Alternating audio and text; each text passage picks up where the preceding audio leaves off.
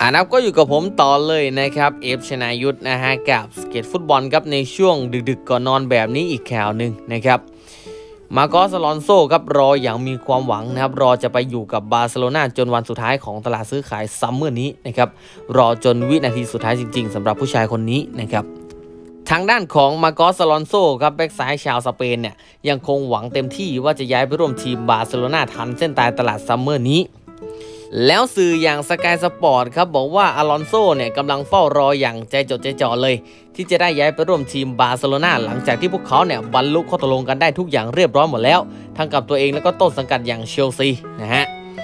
บาร์เซโลนาครับสามารถตกลงค่าตัวกับทางเชลซี และตกลงสัญญาส่วนตัวกับทางอลอนโซได้หลายสัปดาห์แล้ว แต่มันติดปัญหาสำคัญครับ ซึ่งเป็นปัญหาเดิมๆเนี่ยคือไม่สามารถลงทะเบียนนักเตะใหม่ได้ จนกว่าจะมีนักเตะเนี่ยย้ายออกไปก่อนนะครับ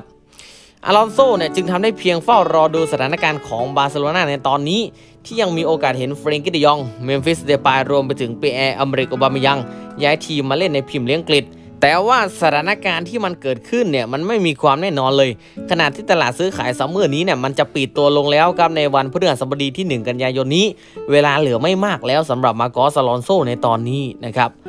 ตอนแรกครับมาร์กอส อลอนโซเนี่ยได้รับความสนใจจากตราหมีแอตเลติโกมาดริดเหมือนกันนะครับแต่ว่าเขาเนี่ยปรารถนาที่อยากจะย้ายมาเล่นให้กับบาร์เซโลนาเท่านั้น เลยทำให้แอตมาดริดเนี่ยไปคว้าตัวเซร์คิโอเรกิลอนของท็อตแนมสเปอร์มาแทนแล้วนะครับในตอนนี้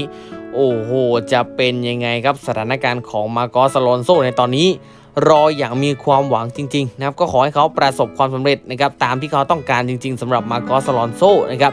ตอนนี้ทำอะไรไม่ได้นะครับต้องรออย่างเดียวเลยนะครับ สำหรับคืนนี้ก็ฝันดีราตรีสวัสดิ์นะครับทุกคน เจอกันใหม่พรุ่งนี้เช้านะครับ